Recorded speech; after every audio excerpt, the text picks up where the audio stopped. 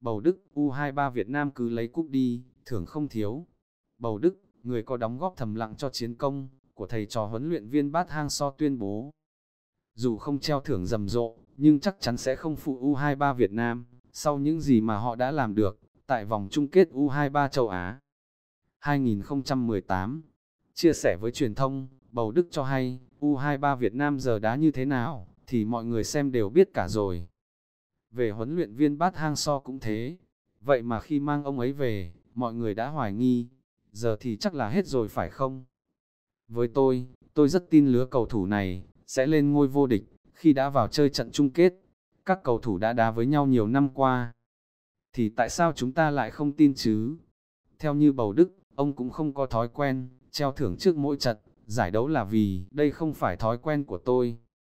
Nhưng các cầu thủ có công thì không phải lo, họ sẽ được tương thưởng xứng đáng từ VFF, từ các doanh nghiệp. Còn riêng phần tôi thì cứ yên tâm.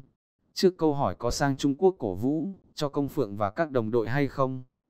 Bầu Đức cho biết là sẽ ở nhà, vì tôi sợ các cầu thủ ảnh hưởng tâm lý không tốt khi có tôi. Họ đang thi đấu thành công thì cứ để vậy đi.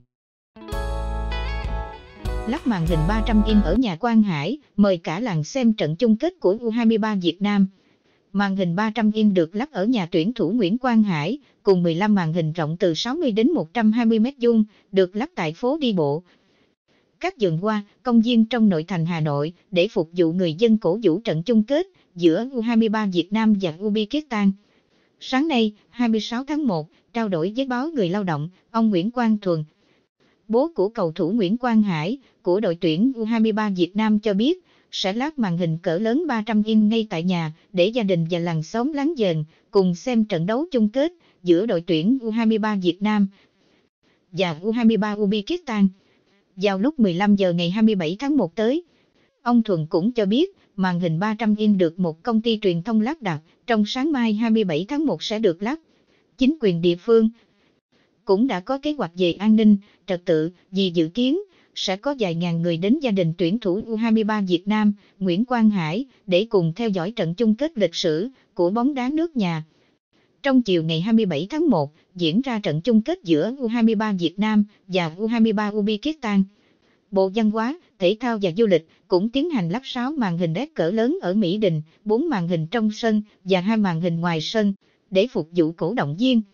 Trước đó, Sở Văn hóa Thể thao Hà Nội cho biết, Sở đã báo cáo thành phố cho phép lắp các màn hình đét cỡ lớn ở các khu vực công cộng để tường thuật trực tiếp trận chung kết. U23 Việt Nam và Uzbekistan Các địa điểm lắp gồm phố đi bộ Hồ Hoàng Kiếm, quảng trường Cách mạng tháng 8, sân vận động Mỹ Đình, công viên Hòa Bình, công viên Thống Nhất. Tùy từng vị trí, Sở Văn hóa Thể thao Hà Nội sẽ cho lắp đặt các màn hình với kích thước khác nhau. Sáng ngày 26 tháng 1, trao đổi với báo Người Lao động, ông Bùi Văn Nguyệt chú ruột của thủ môn Bùi Tiến Dũng. Tuyển thủ U23 Việt Nam cho biết, đại gia đình ông sẽ ra Hà Nội đón các con ông là thủ môn Bùi Tiến Dũng và Bùi Tiến Dũng cùng tuyển U23 Việt Nam về nước. Gia đình đã thuê xe 29 chỗ ngồi, dự định sẽ có 30 người.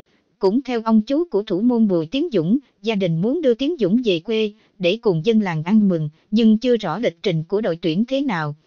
Nếu được về luôn, thì gia đình sẽ đưa về làng bào. Người dân cũng đang háo hức chờ chúng nó về. Gia đình và địa phương đã chuẩn bị tinh thần hết rồi ông Nguyệt thông tin thêm. Theo ông Nguyệt, hiện gia đình đã mua trâu về, sáng mai 27 tháng 1. Sẽ tổ chức liên quan để mời dân làng và khách đến nhà chơi. Được biết, sáng ngày 25 tháng 1, tỉnh đoàn Thanh Hóa cũng đã lên thăm, chúc mừng gia đình anh em Bùi Tiến Dũng và tặng bằng khen cùng 5 triệu đồng tiền thưởng cho cá nhân em Dũng vì có thành tích thi đấu xuất sắc cùng đội tuyển U23 Việt Nam. Liên đoàn bóng đá Việt Nam GFF cho biết, GFF dự kiến dùng xe buýt 2 tầng để đón đội tuyển U23 Việt Nam. Vào ngày 28 tháng 1 tới, chương trình cụ thể do Bộ Văn hóa, Thể thao và Du lịch tổ chức. Ngay trong tối 28 tháng 1, sẽ tổ chức một gala để mừng công đội tuyển U23 Việt Nam tại sân vận động quốc gia Mỹ Đình. GSS cũng đang chuẩn bị những phương án, đề phòng như hôm đó thời tiết không tốt, có thể sẽ có mưa hay lạnh. Trận chung kết U23 châu Á 2018 mà U23 Việt Nam lần đầu tiên trong lịch sử góp mặt sẽ diễn ra vào lúc 15 giờ ngày 27 tháng 1 trên sân Thường Châu, Trung Quốc. Trong tay sự ép đội tuyển Việt Nam ở AFF Cup 2014 bắt trận chung kết U23.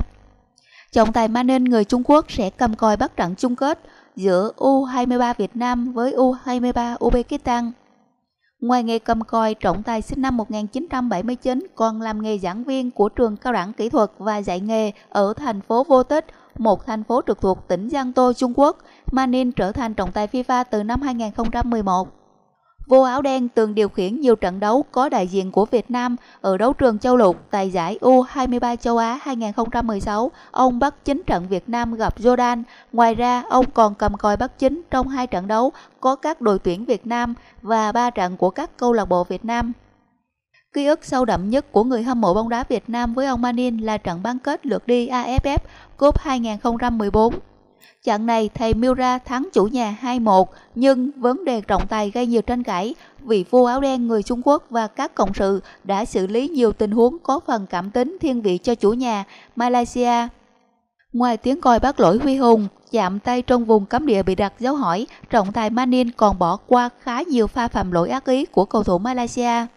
Có thể kể ra pha đánh nguội của Sabi Rahim với Tiến Thành cùng với những cú tắc bóng khiến Hoàng Thịnh, Huy Toàn bị đau. Huấn luyện viên đã phải chạy ra sát đường biên và hét lớn để phản đối những quyết định của Manin. Ở AFF Cup 2012, ông Manin cũng bắt trận đấu giữa tuyển Việt Nam và tuyển Philippines tại vòng bảng. Vị trọng tài này xử lý nhiều tình huống khiến nhiều cầu thủ Việt Nam bức xúc. Trọng tài chính trong các trận đấu của U23 Việt Nam kể từ vòng knockout gây nhiều bức xúc trong dư luận. Cả hai trọng tài Chitbet Australia và Muhammad Tawi Singapore đều bị phàn nàn là có những quyết định thổi phạt nặng tay với các học trò của huấn luyện viên Park Hang-seo.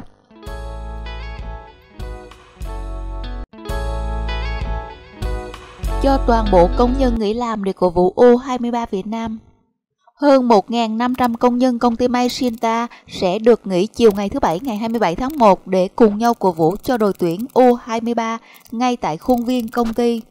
Hòa chung không khí cả nước đang hướng vào trận chung kết lịch sử của đội tuyển U23 Việt Nam với đội tuyển U23 Uzbekistan tại giải vô địch U23 châu Á, công ty may Shinta Việt Nam, khu chế xuất Linh Trung 2, phường Bình Chiểu, quận Thủ Đức, thành phố Hồ Chí Minh quyết định cho hơn 1.500 công nhân nghỉ từ 14 giờ 40 ngày 27 tháng 1 để cổ vũ cho đội nhà. Anh Hà Văn Thành, Chủ tịch Công đoàn Công ty May Sinta Việt Nam cho biết, với tinh thần vì màu cờ sắc áo, dù khối lượng công việc còn khá lớn, nhưng ban giám đốc đã quyết định cho toàn bộ cán bộ, công nhân được nghỉ để cổ vũ cho đội tuyển Việt Nam. Chúng tôi đã liên hệ thuê được màn hình lớn 300 inch để tất cả mọi người có thể xem trọn vẹn trận đấu. Trước trận đấu sẽ có màn khởi động làm nóng tinh thần cho các cổ động viên. Giữa hai hiệp của trận đấu cũng có các tiết mục văn nghệ góp vui của anh em công nhân để bùi cổ vũ thêm phấn chấn. Đây là cơ hội hiếm hoi để anh em công nhân thể hiện tình yêu bóng đá, để tinh thần người lao động được nâng lên, xóa bỏ khoảng cách, xích lại gần nhau hơn, anh Thành nói thêm.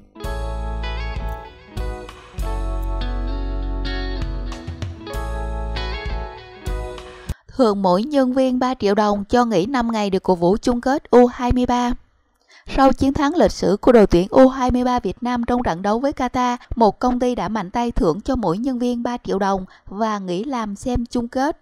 Sau khi Việt Nam thắng Qatar giành vé vào chơi trong trận chung kết, một giám đốc công ty ở Phan Rang Tháp Chàm Ninh Thuận đã ký quyết định cho nhân viên nghỉ việc từ ngày 24 tháng 1 đến hết ngày 28 tháng 1 để cổ vũ trận chung kết U23 Việt Nam.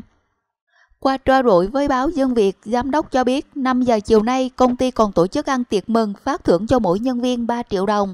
Thêm vào đó, công ty này cũng yêu cầu nhân viên từ ngày 24 tháng 1, tất cả các tài khoản trên trang cá nhân Facebook phải đồng loạt đổi sang hình cầu thủ Quang Hải hoặc thủ môn Bùi Tiến Dũng. Nếu cá nhân nào không chấp hành khi kiểm tra phát hiện được sẽ bị trừ vào tiền thưởng Tết nguyên đáng 1 triệu đồng. Nhiều lao động lúc này cũng lên kế hoạch chờ xem trận chung kết U23 Việt Nam vào ngày 27 tháng 1 tới. Chị Nguyễn Thị Ngọc Huyền, Hà Nội cho biết, nhiều người công ty tôi đang xin thứ bảy tới đi làm ca sớm để kịp giờ về xem chung kết. Cả đời mới có một lần, vì thế nhất định phải xem bằng được. Nếu sếp không đồng ý, chúng tôi sẽ từ nghỉ việc không lương. Chị Lê Minh Tâm, Hai Bà Trưng, Hà Nội tiết lộ công ty chị đã hủy gần 100 mâm tiệc liên hoan Tết niên cuối năm để dành chỗ cho mọi người xem bóng đá. Giám đốc công ty chị còn quyết định nếu Việt Nam giành cúp vô địch thì sẽ chiêu đãi cả cơ quan một chuyến ăn chơi tại resort Đà Nẵng. Trước đó, một số công ty ở Hà Nội cũng đã ký quyết định cho nhân viên nghỉ làm xem bóng đá trận bán kết giữa Việt Nam và Qatar.